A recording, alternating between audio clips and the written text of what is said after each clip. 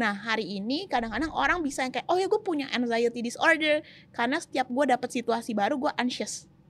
Hmm. Terus jadi kayak oke gue label diri gue gue punya gangguan kecemasan nih di dalam Self diri gue. diagnose Iya, lah intinya. ya. True padahal ya enggak it, balik lagi anxiety is a normal feeling yang setiap manusia punya untuk menghadapi situasi-situasi yang mungkin mereka nggak nyaman atau situasi-situasi yang baru buat mereka atau situasi-situasi yang mungkin mereka punya standar dan ekspektasi untuk penuhin situasi tersebut. Mungkin karena waktu kita berdoa kita tetap pengen yang in control in our situations. Maunya tetap begini Tuhan. Betul. Padahal tadi kalau kita lihat di Filipi 4 tadi Tuhan memang nyatakan buat Tuhan Mhm. untuk Tuhan yang take control tentang itu semua yang kayak gitu. Iya. So sebenarnya waktu berdoa pun kita juga perlu aware hati kita. Kita taruh security kita and trust kita dalam Tuhan atau kita doa untuk dapat confidence kayak kita bisa kontrol itu. Betul.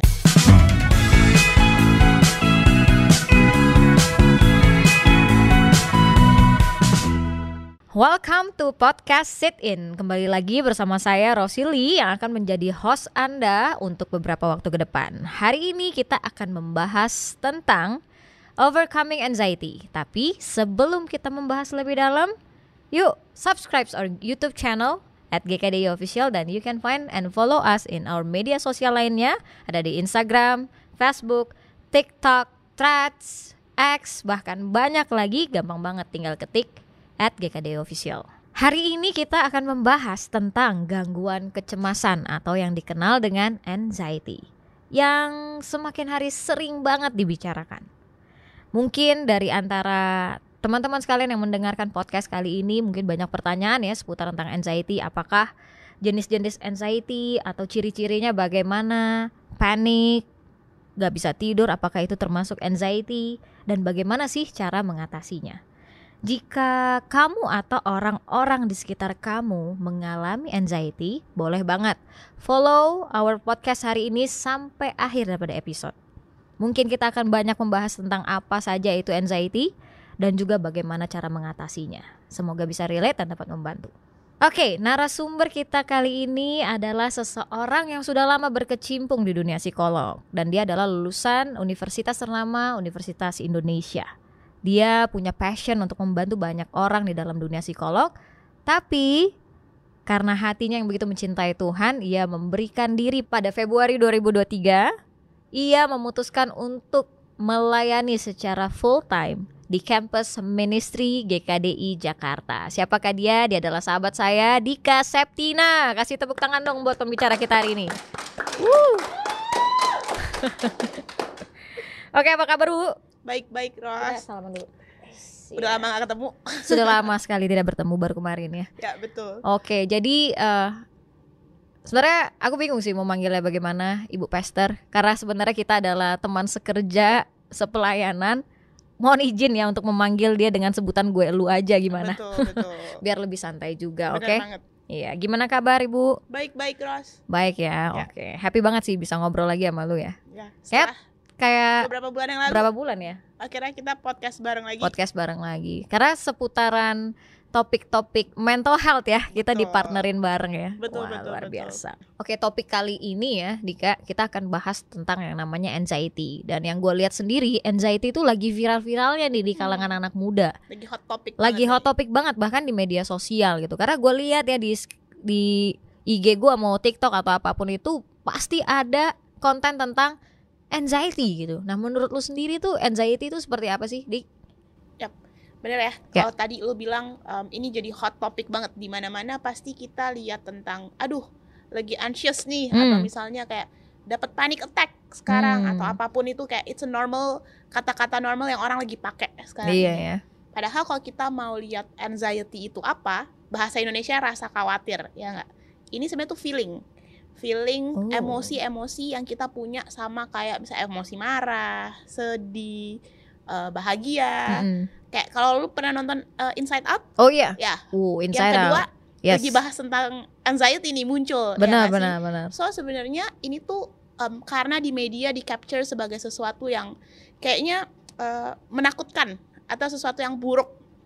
Padahal kalau kita lihat sendiri it's a normal em- emotions yang orang punya Dan sebenarnya. itu ada di setiap Dan kita. itu kan? ada di setiap It's orang. not a penyakit. Betul. Kalau kita mau lihat em, sebenarnya semua emosi Tuhan Tuhan yang ciptain ya nggak sih? Mm-mm. Ada benefitnya nggak buat orang? Ada. Oh. Termasuk dengan anxiety. Sebenarnya ini adalah feeling yang sebenarnya beneficial. Cuman em, memang segala sesuatu harus dalam kadar yang normal ya. Iya. Kalau misalnya terlalu berlebih, ini akan mengganggu kayak gitu. Nah, mungkin sekarang yang lagi jadi hot topic ini adalah orang bisa label dikit-dikit lagi cemas atau lagi ketakutan. Itu mereka langsung em, apa? Mereka langsung label kayak oh, gue lagi anxiety, gue lagi anxious kayak gitu. Padahal ya it's a, it's a normal feeling yang orang bisa punya. Mm-mm. Memang dibandingkan dengan rasa takut, apa bedanya? Anxiety itu rasa takut yang berlebihan. Oke. sebenarnya. Kalau misalnya takut doang, dia feeling, tapi kalau udah anxiety, anxious, em, dia bisa eh, apa berpengaruh sama physical kita Hmm. kayak gitu. Itu doang bedanya. Tapi eh, sisanya itu feeling-feeling normal yang manus tiap manusia punya kok. Pasti Gitu. punya gitu. Betul. Nggak mungkin manusia tidak takut ya. Betul. Tidak betul, grogi kalau ada eh, pementasan gitu ya. Betul. Nggak grogi kalau ketemu cowok ganteng gitu kan. Betul. Itu bukan anxiety kan? Enggak kan? It's part of anxiety. Oh. Makanya tadi gue bilang eh, ini feeling yang sebenarnya beneficial. Hmm. karena sebenarnya itu prepare kita untuk something yang Oke, kita akan that's true, hadapin. that's true. yang belum terjadi.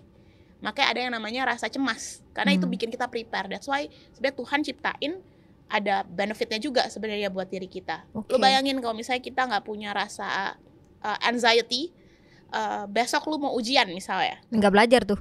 pasti lu gak akan belajar karena lu gak Ya, akan ya, takut bener. kayak oh ya udah mulai make aja. sense, mulai make sense. Atau misalnya kayak lu uh, nggak pernah ke atau misalnya kayak peraturan lalu lintas lu nggak punya rasa khawatirin tentang diri lu gas gas aja bisa jadi Betul, betul, jadi betul. kecelakaan kan yang kayak gitu gitu tapi ada Wah. feeling ini ini yang bikin kita jadi lebih was was sebenarnya Wah, jarang-jarang nih gue denger anxiety ada benefitnya. ya ya Karena ya, iya ya. kan, sesuai kan. Betul, buat betul. apa yang kita lihat di media Betul. sosial itu kayaknya satu hal yang sangat buruk dan true menakutkan. true Oke, thank you for the explain uh, explanation ya. Gue suka banget tuh waktu lu bisa bilang melihat ini normal banget ada di hidup kita. Cuman kalau berlebihan, nah ini yang bisa betul menjadi warning buat kita Betul. semua. Oke, nah gue ada pertanyaan nih beberapa hal ya. Kadang-kadang kan ada orang yang bisa bilang gini, gue sering sih nemukan ini ya. Ya. Misalnya ketemu orang tiba-tiba stres dikit, gue anxiety. Gak bisa tidur dikit, gue anxiety. Atau gue gua gue kayak gloomy dikit, wah gue depresi. Ya. Semuanya di, akan diarahkan kepada anxiety gitu loh. Nah, keadaan yang seperti apa sih? Mungkin lu bisa bantu kali ya untuk kita semua mengerti. Anxiety itu seperti apa sih sebenarnya ya? Ya. Biar nggak salah kaprah nih sekali lagi nih. betul mungkin yang paling penting untuk kita bisa di ground yang sama Hmm, pertama adalah kita oke. perlu bedain dulu nih yang namanya anxiety sama anxiety disorder Oke. Karena tadi yang aku bilang eh, anxiety itu hal yang normal, bukan sesuatu yang buruk. Ini part of our emotions yang semua orang punya. Makanya waktu kita nonton Inside Out makin kita gede, emotions kita makin banyak ya. Berku, ber, Bertambah. gitu ya. Kalau ingat nggak Inside Out pertama dia cuma ada basic emotions, ada lima doang. Yes. Tapi pas dia masuk remaja, tiba-tiba semua emosi lainnya muncul juga, termasuk anxiety ini. Iya. Kayak gitu. Nah, eh, apa namanya? Yang kita perlu bedain itu dulu. Anxiety itu bukan sesuatu yang harmful buat diri kita. Tapi ada eh, yang kalau berlebihan bisa jadi sebuah disorder yang mungkin bisa mengganggu aktivitas kita sehari-hari Hmm. kayak gitu. Nah, tadi yang lu bilang ya kayak ada orang mau ketemu orang dikit, aduh kayak rasanya anxious nih atau misalnya kayak mau ketemu apa, mau kerjain apa bisa jadi eh, apa jadi khawatir atau apa. Itu orang harus bisa ngerti kalau feeling-feeling itu tuh feeling yang normal. Ya. Itu things yang akan kita lakukan untuk sesuatu yang kita tahu kita mau hadepin tapi itu nggak familiar buat kita. That's why ada feeling-feeling itu and it's normal kayak gitu. Tapi eh, apakah eh, bisa jadi concern? Bisa. Kalau em, feeling yang tadi itu, yang khawatir dan ketakutan berlebihan, berlebihan itu terjadi terus-menerus. Eh, kalau kita lihat eh, secara psikologi, Mhm. eh, untuk orang bisa didiagnosa punya anxiety disorder itu juga bukan karena kayak oh seminggu ini gue lagi anxious nih, gue lagi khawatir untuk satu hal terus jadinya kayak oke lu punya anxiety disorder nggak Iya. seperti itu yang kayak gitu bahkan untuk orang yang expert di bidang eh, psikologi sendiri untuk mendiagnosa orang eh, punya gangguan eh, kecemasan dia ada hal-hal yang mereka harus penuhin untuk mereka bisa di label punya gangguan tersebut ya. kayak gitu. Oke. Dalam jangka waktunya pun bukan jangka waktu yang sebentar, jangka waktu enam bulan berturut-turut dengan topik yang sama. Nah hari ini kadang-kadang orang bisa yang kayak oh ya gue punya anxiety disorder karena setiap gue dapet situasi baru gue anxious. Hmm. Terus jadi kayak oke gue label diri gue gue punya gangguan kecemasan nih di dalam self diri gue. Iya, lah intinya ya. True padahal ya enggak it, balik lagi anxiety is a normal feeling yang setiap manusia punya untuk menghadapi situasi-situasi yang mungkin mereka nggak nyaman atau situasi-situasi yang baru buat mereka atau situasi-situasi yang mungkin mereka punya standar dan ekspektasi untuk penuhin situasi tersebut kayak gitu. I see. Wow. Menarik ya. Berarti ada ada clarity nih gue lihat. Ada anxiety, anxiety disorder. Ya. Sebenarnya ya benar banget ya. Gue juga sering ngelihat ya panik dikit dibilang anxiety, tapi ternyata itu pun ada klasifikasi kenapa lu dimention sebagai orang yang Punya gangguan. gangguan kecemasan. Ya. Ya, harus di harus diteliti dulu ya sampai enam bulan. Eh sampai berapa bulan? 6 bulan. Enam bulan kan sampai enam bulan. Bahkan indikator yang mereka punya tuh nggak cuma satu indikator. Kalau kita lihat um, secara profesional mereka harus penuhin empat indikator dulu untuk Mhm. mereka bisa didiagnosa.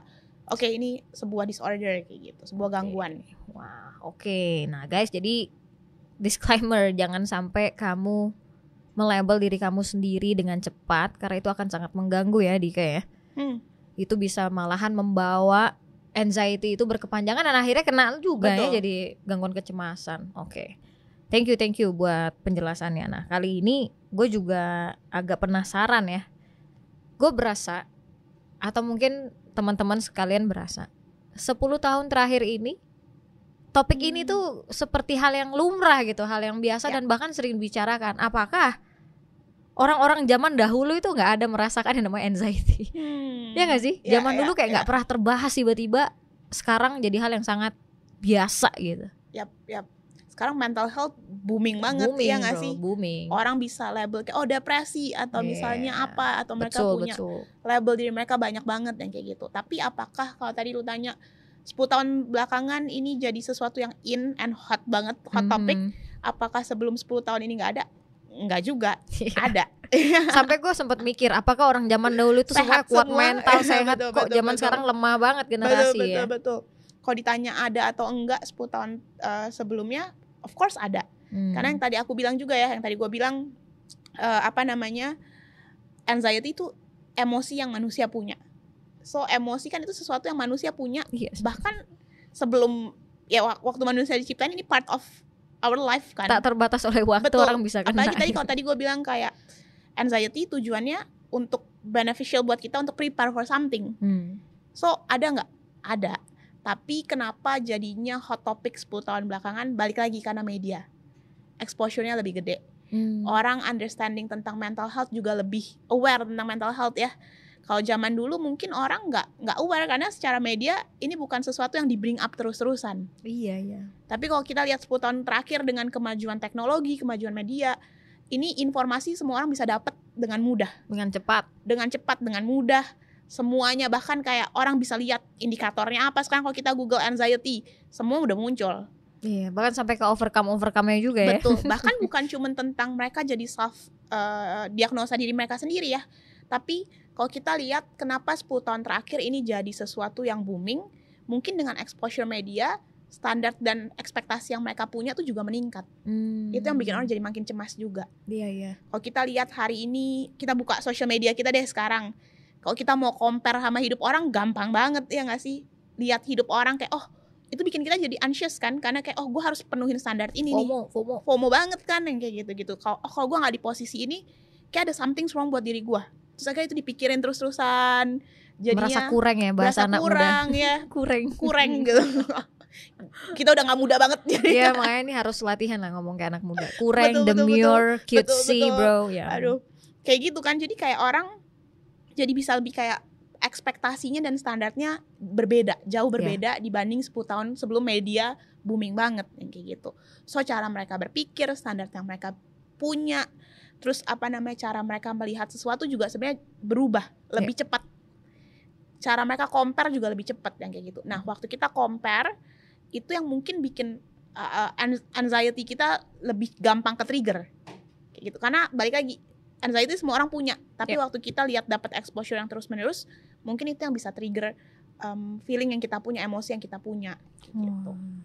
Jadi sih kalau yang gua tangkep dari lu bisa jadi dua sisi dong media sosial ya ngomongin tentang exposure yang terlalu besar. Bagus untuk untuk bisa awareness. Eh, at least lu bisa tahu hal-hal yang mungkin lu bisa jaga gitu, be prepared gitu. Tapi di satu sisi terlalu banyak dikonsumsi malahan jadi self diagnose tadi ya, malahan Betul. menjadi gag- malahan menjadi kecemasan yang lain gitu. betul Wah, oke. Ya. bahkan kayak eh, sorry gue cut bahkan kalau kita lihat em, dengan adanya media yang ada standar orang berubah orang juga jadi lihat respon orang dengan achievement yang kita punya Hmm. so itu jadi tuntut another tuntutan yang orang punya yang bikin mereka bisa overthink dan akhirnya bikin mereka khawatir untuk melakukan sesuatu Wah. Gitu. Iya juga, benar. Wow, kita berada di zaman yang memang sangat dekat dengan anxiety betul plus disorder. Be careful guys ya. Hmm. Oke, mungkin eh, lebih dalam tentang anxiety nih, Dika. Kalau kita tadi ngomongin tentang ciri-ciri anxiety. Hmm. Nah, sekarang gue mau tanya tentang penyebab anxiety. Apakah bisa genetik? ya penyebabnya ya kalau tadi eh, segala hal kalau kita lihat pasti ada dua faktor dari eh, secara natural Mhm. nature sama nurture dari lingkungan Iya. kayak gitu. So apakah em, tadi lu nanya ya apakah ini bisa dari genetik?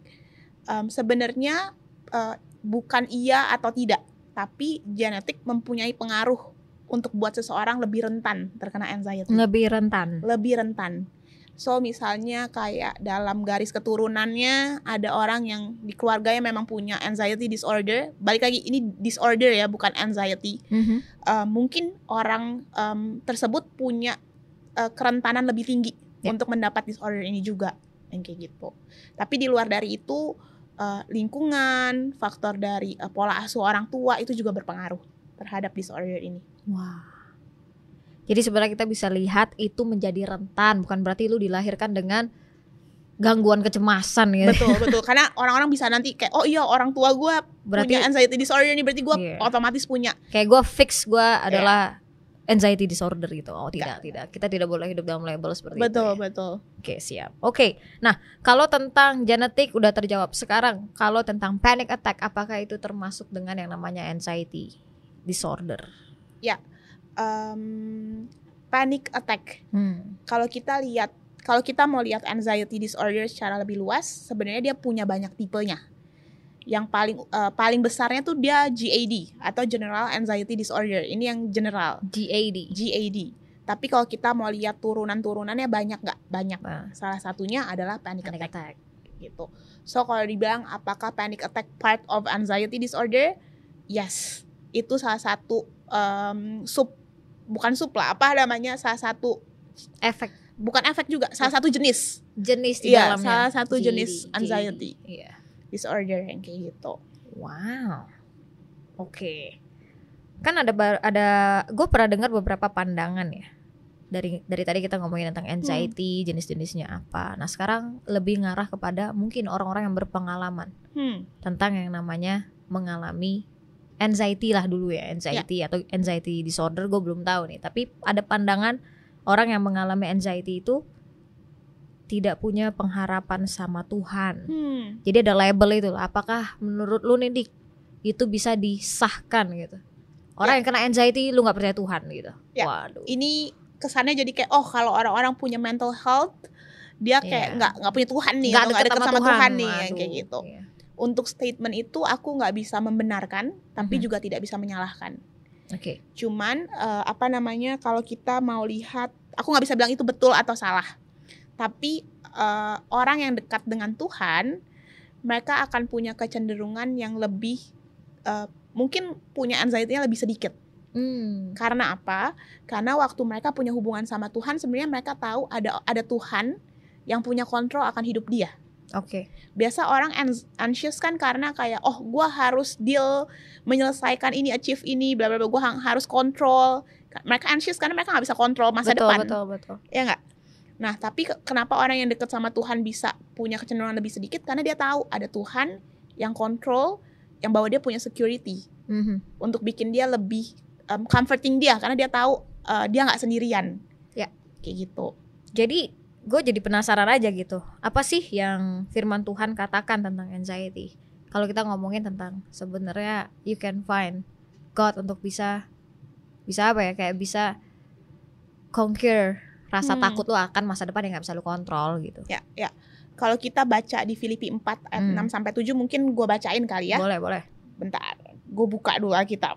Gas. Sit in podcast membuka kita. Ya, di Filipi 4 ayat 6 sampai 7 dia bilang janganlah hendaknya kamu khawatir tentang apa pun juga, tetapi nyatakanlah dalam segala hal keinginanmu kepada Allah dalam doa dan permohonan dengan ucapan syukur. Damai sejahtera Allah yang melampaui segala akal akan memelihara hati dan pikiranmu dalam Kristus Yesus. Nah, Nah, tadi questions lu adalah em, firman Tuhan tuh katakan apa ya tentang anxiety ini sendiri. Kalau kita lihat di Bible, sebenarnya tentang kata worry, anxiety, anxious, itu tuh ada beberapa kali dimention. Tapi eh, gua specifically ambil di Filipi 4 ayat 6 sampai 7 ini karena dia bilang apa di sini? Janganlah hendaknya kamu khawatir tentang apa pun, juga. Tapi dia bilang apa? Nyatakanlah dalam segala hal keinginanmu kepada Allah dalam doa dan permohonan dengan ucapan syukur. Supaya damai sejahtera Allah yang melampaui segala akal akan memelihara hati kamu dan pikiran dalam Kristus Yesus. Wow. So, kalau kita tanya apa sih perspektif uh, Bible tentang anxiety ini? Bible tahu nggak kita punya kecenderungan untuk being anxious Hmm. tentang situasi. Uh, Tuhan tahu nggak kita bisa khawatir. Tuhan tahu banget. That's why Tuhan prepare ini. Dia bilang jangan khawatir, don't be anxious, tapi datang ke Tuhan doa dan Hmm. nyatakan semuanya ke dalam tangan Tuhan supaya rasa damai datang ke dalam diri kita. Nah, orang kadang-kadang miss tentang ininya. Ya. Waktu mereka kenapa anxiety-nya bisa jadi strong dan kontrol dia? Karena dia pikir kayak dia yang harus selesain problemnya dia. Dia yang harus hadepin situasinya dia sendirian nih. Dia yang harus jalanin itu semua sendirian. Padahal kalau di Bible dia bilang datang ke Tuhan, doa. Supaya nyatakan di sini di apa? Nyatakanlah dalam segala hal keinginanmu kepada Allah. Iya. Supaya rasa damai Tuhan yang kasih supaya ada Hmm. comfort, supaya ada peace-nya. Supaya kita tahu kayak oh, ini things yang mungkin kita akan hadapin yang kita nggak oh, kita nggak familiar atau mungkin ini menakutkan buat kita, tapi kita tahu kita nggak jalan ini sendirian karena ada Tuhan yang bersama kita. So kalau kita lihat di Bible ya banyak banget tentang worry, tentang anxiety, pasti Tuhan selalu ingetin kayak datang ke Tuhan, datang ke Tuhan. Karena Tuhan tahu pasti akan ada rasa khawatir yang kita punya, akan ada rasa anxious yang kita punya. Tapi Tuhan bilang kayak jangan entertain feeling itu, tapi datang ke Tuhan untuk tahu kalau misalnya kita ada Tuhan yang walk with sama kita juga. Hmm, wow, what a powerful words ya dari Tuhan ya. Thank you banget udah share about this. Gue jadi punya ide bahkan. Hmm. Gue jadi bisa mawas diri nih bahasanya, bahasa lama ya, apa ya? Maksudnya ref, reflektif ya ke hidup gue sendiri. Jangan-jangan waktu kita anxious, kita pray ke Tuhan. Tapi ya benar, kita pengen ada solusinya cepat, Hmm. masalahnya selesai. Kayak gini loh, kayak I pray to God, fear ini hilang dari hidup, fear ini hilang, pokoknya semua masalah hilang. Tapi kok setelah doa tetap anxious ya? Ya. Why ya kita nggak doa aja kayak God, please give me the spirit of peace gitu ya? Wow, it's it will be powerful sih. Yap, Apa pun yap. yang terjadi kita bisa conquer that with God gitu ya. Yap. Wow. Sama yang kayak lu bilang barusan ya, kayak kadang-kadang kita doa tapi kita tetap nggak peaceful.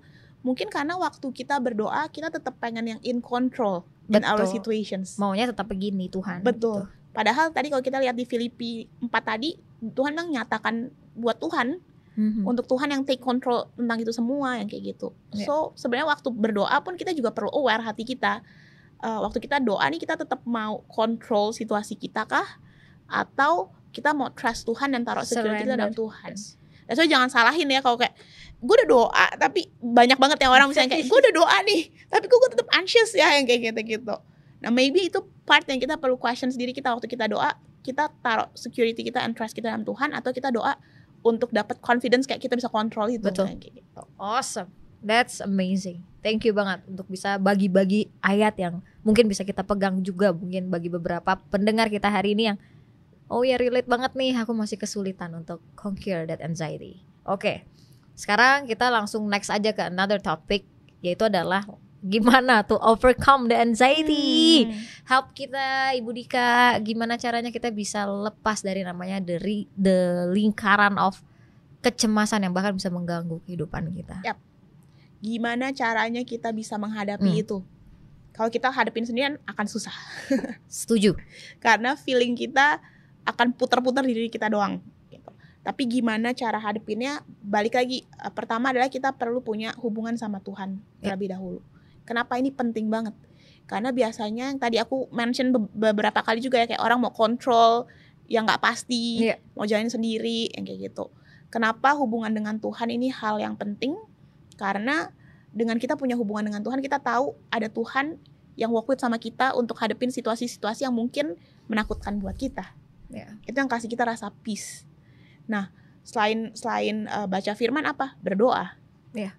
Berdoa untuk apa? Untuk bikin kita kayak kasih self assurance buat diri kita ya kalau gua nggak sendirian loh.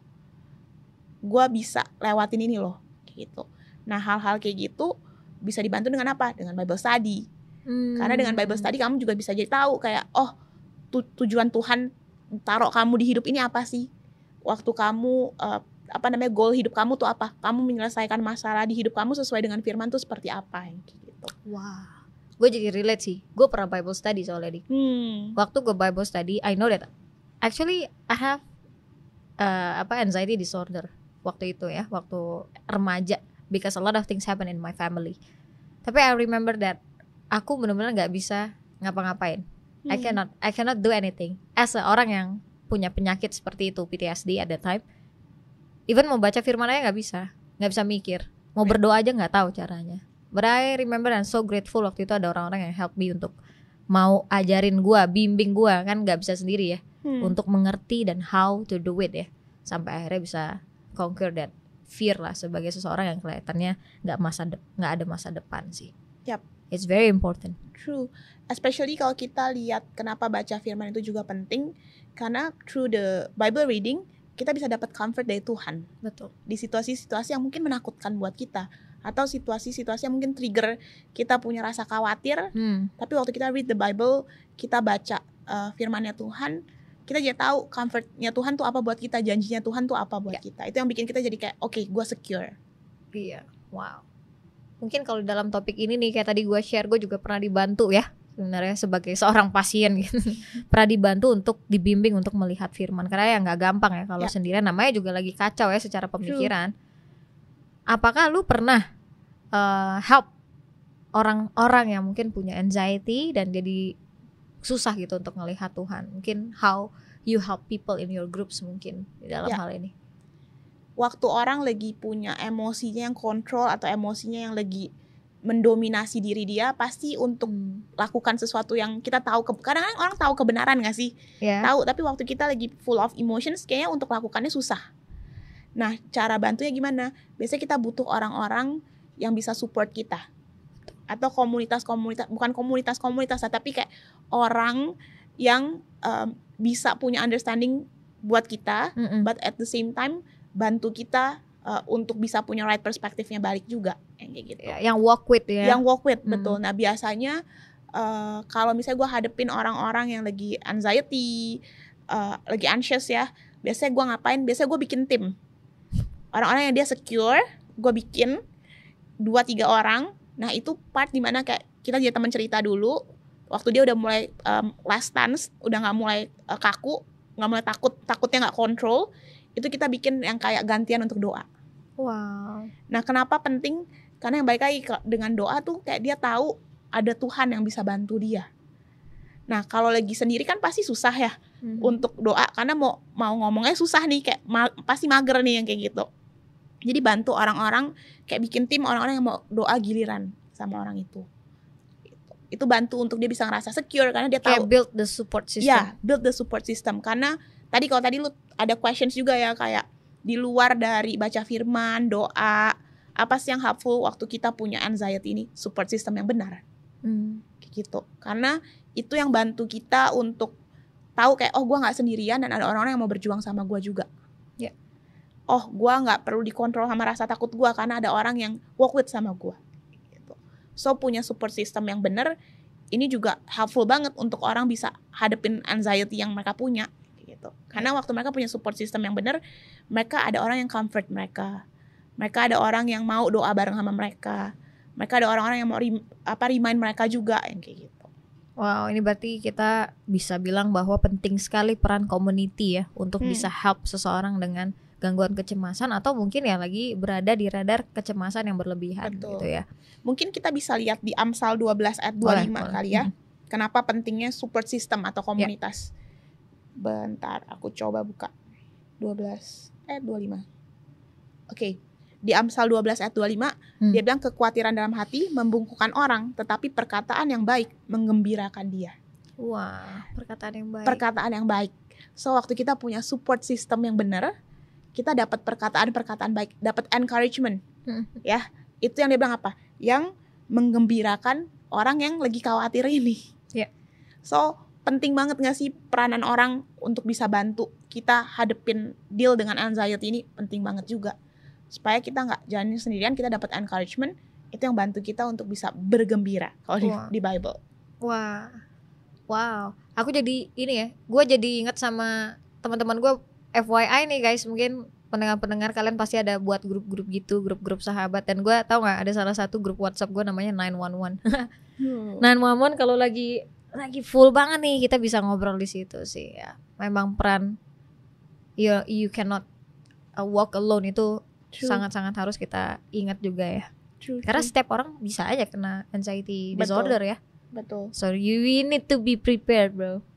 True dan Ya. support system yang kita pilih juga nggak bisa sembarangan Yes, betul. support system yang kita perlu tahu ini orang-orang yang kasih kita encouragement bukan yang kayak memba ya ini kita harus make sure kayak support system yang kita punya ini yang membangun Iya. karena kalau kita mau bilang support system banyak banget jenis support system di luar sana kan That's true. Gitu.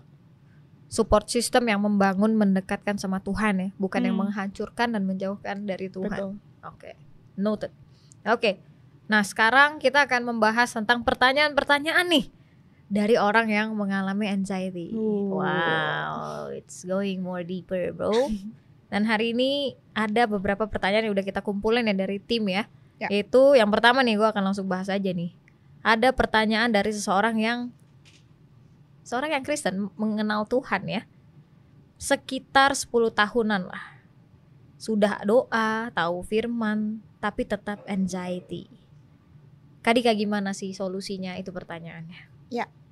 Eh, tadi kan ada di awal kita pernah bahas ya tadi sebelumnya kita bahas tentang apakah orang anxiety itu nggak dekat sama Tuhan Mm-mm. apakah kalau orang dekat sama Tuhan jadi nggak an- an- apa namanya nggak anxiety juga yang kayak Iya. gitu kalau kita lihat eh, apakah orang yang dekat sama Tuhan juga bisa punya anxiety problem Hmm, bisa juga gitu.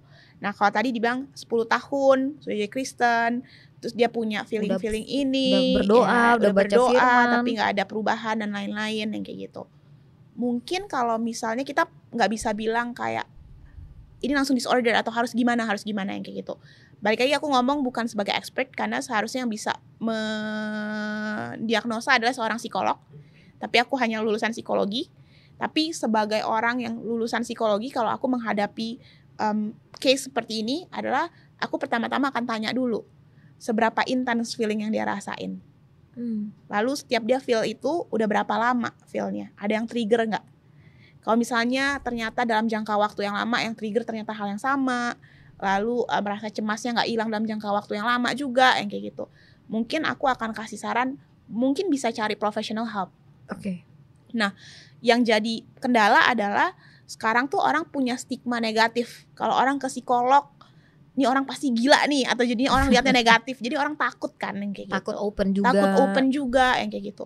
Padahal ini udah bukan hal yang tabu lagi di zaman sekarang yang kayak gitu. Kalau memang kita merasa itu mengganggu kita atau feeling yang kita punya, apalagi kita dia bilang 10 tahun ya, em, kalau itu bisa ganggu kita beraktivitas, maybe it's a good thing untuk bisa cari uh, professional help Hmm. untuk bisa dapat apa namanya pengata penanganan yang lebih cepat juga yang kayak gitu. I see. Jadi ya intinya adalah itu pun walaupun udah 10 tahun merasakan hal yang anxiety tadi, itu pun tetap harus dicek ulang ya. Jangan Betul. sampai self diagnose juga sih. Nah, sebenarnya gue jadi keinget sama satu cerita sih, Dik. Hmm. Yaitu tentang si Nabi Elia ya. Mungkin kalau Ya, ya. teman-teman tahu ya. Itu salah satu cerita yang gue sedih dengernya tapi gue mau ketawa juga gitu. Mungkin nggak tahu deh, mungkin teman-teman udah pernah baca, mungkin akan relate. Lu juga pernah baca. Nabi Elia kan lagi stres-stresnya ngadapi tingkah laku Ratu Isabel ini ya, Isabel ini kan.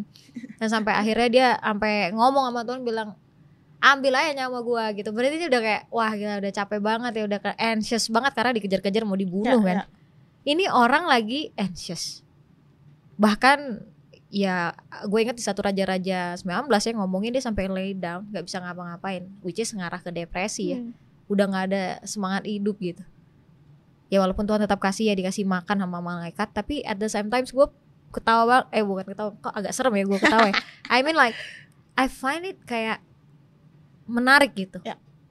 dia stres and anxious banget ngadapin hari-hari depan. Pengen apa sih biasanya kita? Comfort ya nggak?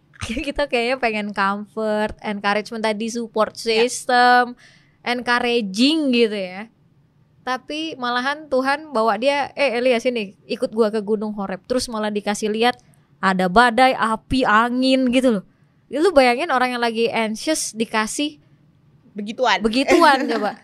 Sama kayak lu lagi panik attack tapi tiba-tiba disuruh uh, tiba-tiba ada tsunami ada apa ya semakin panik lah ya kan gue lucu liat itu. Kenapa ya? Tuhan kok malahan kayak kelihatannya kayak ignorance gitu gue pikirnya secara Hmm. manusia. Karena kan gue I find comfort pasti. Ya, ya. tapi yang membuat gue terharu dan gue sedih adalah waktu Elia itu lagi stres-stresnya Tuhan cuma mau ngasih tahu doang I'm here with you. Gue ngerti banget lu punya anxious ini. Ya iyalah karena dia lakukan semua ini untuk Tuhan juga kan. Yap. sampai ada badai dan lain-lain. Cuman Tuhan mention cuman kayak nggak ada gua di dalamnya. Hmm. Somehow itu yang gue jadi relate ya. Kita mungkin ada dengan Tuhan kita berdoa. Ya. but we want to control anything juga. True. tapi di dalam anxiety kita masih keinget ada Tuhan gak ya di dalamnya? Hmm. mungkin itu yang buat kita jadi nggak bisa relate. Betul. Mau kita berdoa berkali-kali pun gitu. Setuju. Di dalam anxiety itu nggak ada aku di dalamnya Ya. dan habis itu Elia balik lagi. Kerja lagi gitu. It's very itu jadi kekuatan buat gua sih Ya. sebenarnya ya betul kalau dari cerita yang barusan lu bilang Mm-mm. sebenarnya ini beneficialnya kita punya rasa anxious ini gak sih Iya. karena itu kayak maybe it's an alarm buat diri kita untuk tahu kayak eh, kayak lu lagi nggak deket sama Tuhan deh Iya. kayak lu lagi kontrol lagi pengen control something deh lu jadi fokus deh. true Yeah, makanya tadi kan kayak nih, Tuhan gitu. ciptain emosi kan sebenarnya buat prepare, prepare yeah. kita kan maybe juga it's a good thing sebenarnya yang kayak gitu cuman It's tinggal alarm. kitanya mau liatnya sebagai apa sebagai alarm atau calling Tuhan untuk panggil kita balik Mhm. kayak untuk ingetin lagi kayak oh Hmm. nggak ada Tuhan nih lagi pakai kekuatan sendiri nih atau bikin kita makin panik karena kayak gue harus selesain sendiri pakai usaha gue Wah. Jadi bisa kita reverse ya. True. Bayangin kalau kita nggak ada anxiety, mungkin seru sih. True, true. Happy terus, happy terus atau sedih lah, anxiety nggak ada.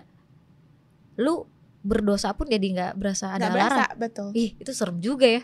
Lu nyakitin hati orang ya lu nggak berasa cemas. betul Lu nggak prepare well, kerjaan nggak baik atau apa pun ya. nggak cemas. Wah, itu gimana ada dunia bisa hancur nggak ada Betul, aturan ya. betul orang Wah. seenaknya ya Seorang seenaknya aja Betul. nyakitin hati orang pun nggak berasa aneh gitu. betul betul Wah, oh ini semakin clear ya. Luar biasa firman Tuhan emang. Oke, nah ini ada pertanyaan lagi nih dari teman-teman kita yang pernah mengalami anxiety lah ya. Mereka bilang seperti ini, kenapa anxiety lebih sering datang pas tidur? hmm, pas mau eh, tidur pas, pas mau malam. tidur lah ya. Kenapa anxiety lebih sering datang pas mau tidur? Ya. Atau pas udah mau terlelap gitu kan, tapi tiba-tiba gelisah banget. Tapi nggak tahu gelisahnya karena, Karena apa. apa? Gimana tuh? True. Bener juga sih. bener-bener kalau kita lihat kayak mau tidur overthinknya baru ada Oh, ya iya. nggak sih Kenapa ya? Kenapa malam-malam? Kalau secara eh, logikanya, karena kalau kita siang dari pagi sampai siang itu kan waktu kita beraktivitas, Hmm. stimulusnya banyak. Hmm. Waktu untuk memproses sesuatu tuh hektik nih kepala kita. Lebih cepet gitu kan. Harus kerja, harus apa, harus pikiran yang kita pikirin banyak dari pagi sampai siang. Nah waktu malam kan tuh waktu kita apalagi mau tidur nih, waktu udah relax, ya nggak sih? Udah nggak mikirin apa-apa, Badan rest gitu ya. udah nggak ada. Otaknya bekerja. Betul, itulah em, hal-hal yang mungkin secara unconsciously kita rasain ketakutan yang kita punya tanpa kita sadar baru muncul Hmm. karena nggak ada distractionsnya lagi kan udah sendirian Iya. makanya munculnya lebih sering malam makanya waktu mau tidur karena pas udah relax udah nggak ada distractionsnya udah nggak ada mikir apa-apa baru muncul yang gitu Wah. Menarik ya. Sebenarnya gue relate sih. So kalau kita lagi tanya ketakutan terbesar apa yang kita punya atau isi kepala kita yang kita lagi konsumsi diri kita mungkin waktu kita perlu lihat nih malam-malam kita mikirin apa Iya. gue pernah kayak gini dik. Jadi karena gue lagi sibuk banget meeting meeting back to back ketemu orang terus gue kayak ah, tiba-tiba nyokap gue telepon tuh di tengah-tengah meeting terus gue cuman gue reject terus gue bilang sorry gue lagi meeting Hmm. malamnya gue berasa guilty-nya minta ampun. Wah tadi gue reject apakah mama saya akan Ya, berpikir begini? Apakah ibu saya sedih? Apakah dia menangis sekarang? Wah itu. Betul betul. terus gue mau chat dia malam-malam nggak dibalas semakin overthinking. Ya iyalah dia udah tidur gitu kan. Ini nih Betul anxiety. betul. dari situ nih berarti apakah menurut lu anxiety juga bisa berpengaruh loh sama kesehatan lu? Kalau kita lihat tadi kan eh, apa bedanya rasa takut Hmm. sama anxiety gue mention di awal gue bilang kayak kalau Ya. anxiety dia berpengaruh sama physical nya Hmm. kita. so pengaruh nggak sama kesehatan kita pengaruh banget kalau em, pernah nggak kita kayak ini familiar juga deh kata-kata our mind Hmm. itu punya efek ke our body Hmm. nah apa namanya waktu kita lagi anxious sebenarnya kan itu pikiran kita kan penuh kan jadinya kan. Iya. bukan pikiran yang happy thoughts bukan. Kalau kita lagi un- anxious mah isinya berantakan di kepala kayak gitu. Kalau kita lihat inside out ya Hmm. waktu anxiety yang take control semuanya berantakan. Iya. nah apa namanya waktu itu berantakan pengaruh nggak sama body kita? Pengaruh. Kalau kita lihat efeknya apa? Bisa kurang tidur. Kalau kurang tidur pun pasti pengaruh juga untuk kesehatan ya. Belum lagi jadinya gampang kecapean belum lagi mual muntah Hmm. yang kayak gitu-gitu so kalau ditanya apakah ada pengaruhnya sama kesehatan kita ada Ada pasti. ada em, apa namanya karena ini pengaruhnya yang membuat ini berbeda dengan emosi yang lain adalah karena ini pengaruh ke tubuh kita juga I see. Ya, jadi ya iyalah ya bakal berpengaruh ya karena ya kurang tidur juga. Ya. Pikiran juga lagi sakit-sakitnya terlalu banyak yang dilakukan gitu.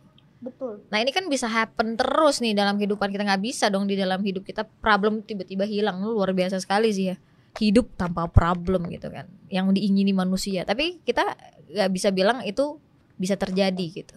Nah kalaupun nih kita tetap ada anxiety atau ya pasti akan menghadapi banyak challenge sih di dalam Hmm. hidup kita.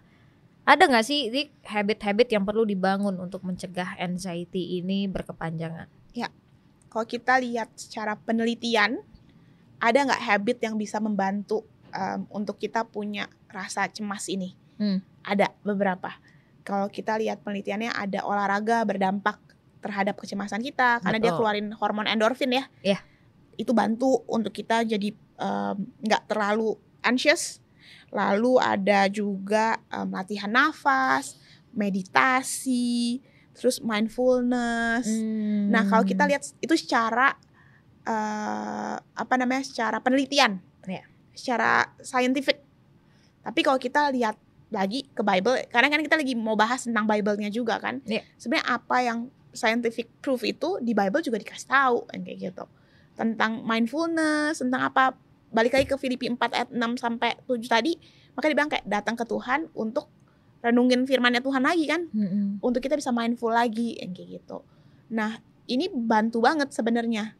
Waktu kita latihan nafas, olahraga, mindfulness, meditasi, baca firman, berdoa, itu tuh exercise yang kita bisa bangun sebagai habit yang bantu kita untuk tanganin rasa anxious kita ini. bahkan biblical banget ya waktu juga sebagai seorang yang membangun habit menjaga hidup lu Betul. sebagai baik Tuhan ya. Saya kayak ya you, you need to protect your body juga. True. Ya ya, itu juga hal yang sangat make sense sih untuk membangun habit to help us juga. Betul. Bahkan kalau di Bible dibilang kayak jaga tubuh kita karena tubuh kita bait Allah, Hmm. the way kita makan, the way kita tidur itu juga bisa berdampak. Mm-mm. Habit yang kita bisa bangun untuk bantu kita hadepin anxiety ini Yeah, sebenarnya. that's true, very true. Itu kayak connect connect banget sih Ya. sama Tuhan mau kita hidup seperti apa ya. Betul. Oke. Nah, kalau kita ngomongin tentang orang yang mungkin sudah berkelanjutan, kecemasan, sulit untuk menghadapinya, bahkan udah efek ke ke tubuh menjadi sakit dan lain-lain. Dik, kapan sih seorang yang mengalami anxiety itu butuh bantuan profesional? butuh bantuan profesional. Waktu em, sebenarnya kalau butuh bantuan profesional, mereka butuhnya kapan? Itu waktu mereka tahu feeling ini tuh mengganggu aktivitas Hmm, mereka setiap harinya, gitu. Tapi uh, untuk ke profesional pun mereka nggak akan langsung diagnosa lu punya disorder ini. Ya. Nggak. Dia akan didiagnosa sama yang kayak tadi aku mention juga berkali-kali ya. Um, akan didiagnosa kalau ini sebagai sebuah gangguan ketika dia mengalami hal tersebut selama enam bulan berturut-turut tidak putus dan memenuhi empat syarat Hmm. yang expert punya Ya. kayak gitu so wak- waktu mereka datang uh, ternyata berlakunya tiga bulan doang. Terus kayak dari indikatornya cuma ada dua. Nggak dianggap dengan gangguan kayak gitu. Wah. that's why ngeri banget ya. Iya ya. sekarang orang bisa self dengan adanya media mereka bisa kayak diagnosa diri di mereka sendiri. Kayak oh Oke, gua gua punya- anxiety punya disorder. ini nih. Oh gua orangnya anxious banget nih karena punya apa namanya punya feeling feeling ini.